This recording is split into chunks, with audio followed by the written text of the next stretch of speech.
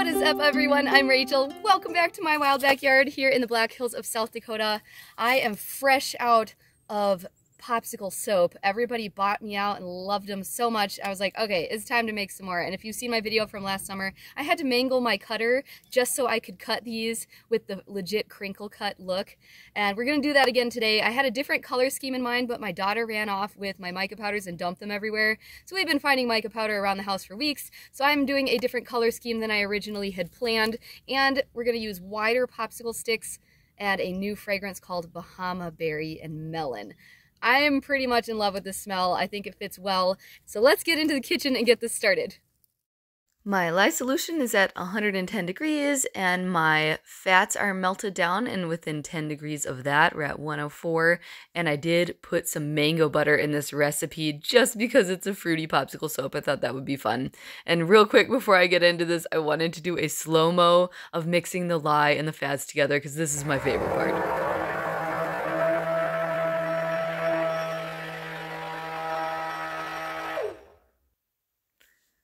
That was super fun. Anyways, so for anyone new to soap making, I did want to mention this really quick. This is cold processed bar soap. It's made with sodium hydroxide, also known as lye. It can burn you and have strong fumes, so you want to make sure you're using proper lab safety when you're making soap that involves lye.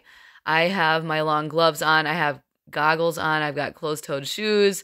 Sometimes I'll wear long sleeves, but in the summertime, it's a little too hot for that but I do have a window cracked and I am away from kids and pets. The kids are already in bed for the day. I had set out everything for this soap earlier in the day, and the mica powders were in reach of my daughter on the counter. I made sure the lye was far, far away. Uh, but yeah, she still got to it.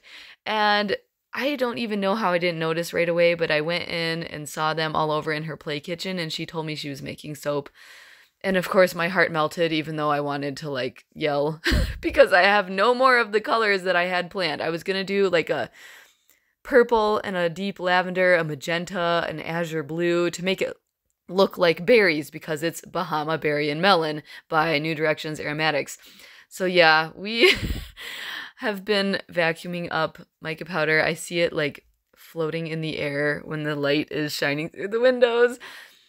But my heart just melted when she said that, and I was like, oh, that's so sweet. So I just went downstairs to my tiny basement soap shop and grabbed some different colors, and it ended up looking a lot like the one that I made last summer. So this is to have four different layers, and I am doing a little multitasking on the side. I'm making a mermaid soap for my sister and then for another friend um, so that's the turquoise and purple over on the side. I'm just going to do a fun little swirl and do a couple circle bars on the side. Now, because this is a layered soap, you'll notice I'm very aggressively mixing this. You want to have like a medium to thick trace for each layer, so that way the following layer doesn't fall through it and cause it to not look smooth or however you want it to be. So it's important to make sure it's thick enough. However, the extra mixing can add bubbles in there, so you have to tap it and get all those air bubbles out. I tried my best, but I still ended up with a little bit of air bubbles on this one. And then you do want to make sure that you scrape down the sides with your spatula between each layer, otherwise those colors will be stuck in the next layer on the sides and it just won't look as nice. And I am adding the fragrance oil into each layer one at a time. I wasn't sure how it was going to behave because sometimes fragrances or colorants can speed up or accelerate trace, making it thicker than you want it to be before you have a chance to work with it. So I usually don't mix up my colors and my fragrance until I am ready to work with each portion. Now, because this is layers, it's okay if it does thicken up some. It's not as big of a deal. Now, since this is involving lye, you probably don't want to be making this soap with little kids, even though this is a fun kid soap. So, what I would recommend instead, if you're really wanting to teach younger kids how to make soap and get them involved in the process, is start with some melt and pour soap because the saponification has already happened. That's when the lye converts the fats into soap. So, all you're doing is taking soap that's already made, melting it down, adding what you want to it, like some fragrance and colors and then pouring it into a mold and letting it reharden. So that process goes pretty quick and it's a lot safer to do. You just have to melt it in the microwave or you could use a double boiler on the stove. So I bought a fun kit that I'm going to do with my daughter later in the summer. I'm not going to give you too much clues on what's in it, but it is a pretty fun kit that I found. So stay tuned for that video later in the summer. I think you'll enjoy it.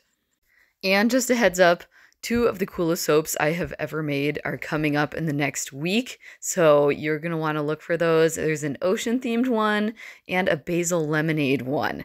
And if you're liking these videos, please give it a like, leave me a comment. I love hearing from you, getting your feedback, and it does help the algorithm find me so that other people can find these videos too. I did use mica powders for all of my layers, and if you want to make the colors pop, when you're done, you're going to want to spray this down with isopropyl alcohol to help cut down on soda ash, and then cover it and even put a blanket over it to help insulate it, because that will help force gel phase, which hardens up the bar and helps those colors pop. And we really want the colors to pop on this one.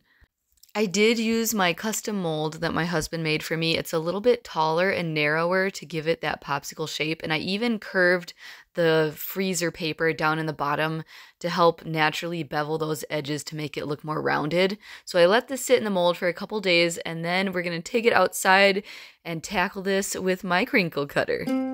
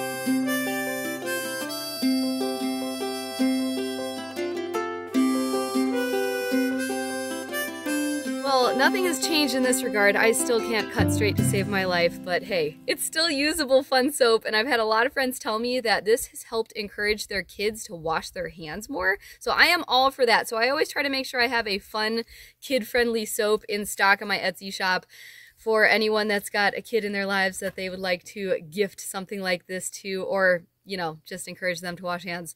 Um, so I, I only made like 12 or 13 of these, but they are in stock in my Etsy shop now. So snag one if you want one. Thank you guys for joining me in this video today, and I will see you in the next one very soon. Don't lick the popsicles.